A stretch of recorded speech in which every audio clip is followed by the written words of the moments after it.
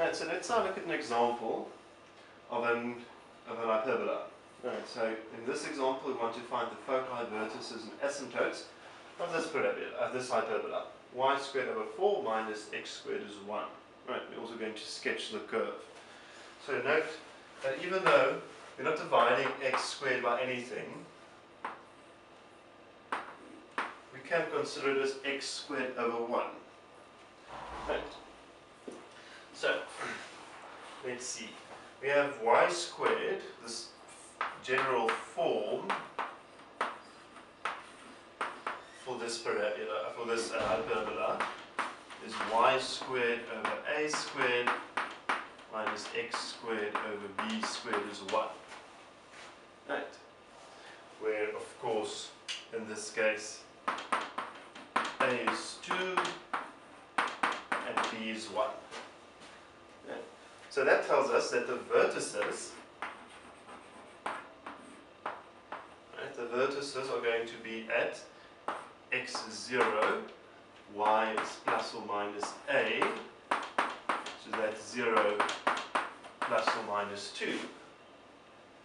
And the foci, right, they would be at 0 plus or minus c, where remember c squared is a squared plus b squared, so 5 in this case, so c is root 5, so the foci are at 0 plus or minus root 5. And lastly, we need to see what the asymptotes are.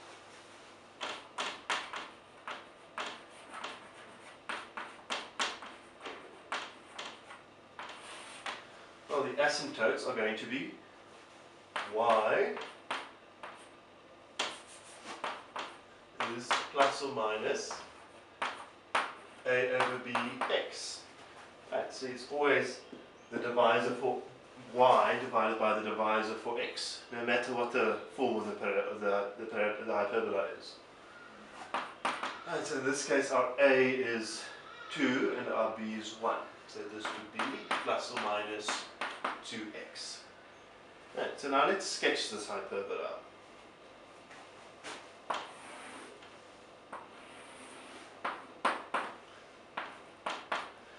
And so let's first draw in the asymptotes. y is plus or minus 2x. B.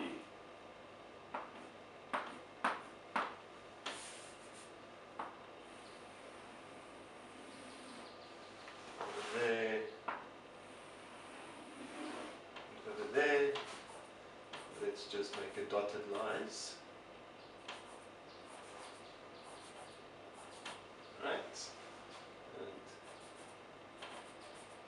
same here, just making a dotted lines.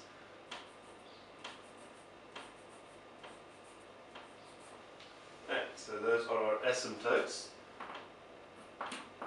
y is 2x. y is minus 2x. Right, so now where's our vertices? Our vertices are at 0 plus or minus 2. Right, so let's say there's 2 and there's minus 2 and 2.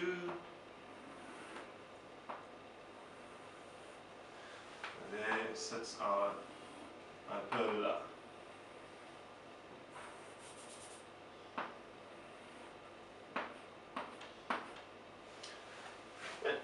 Now the last thing to do is to indicate our foci. Foci at 0 plus or minus root 5. It's going to be more or less there.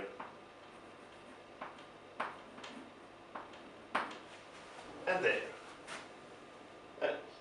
So not too bad.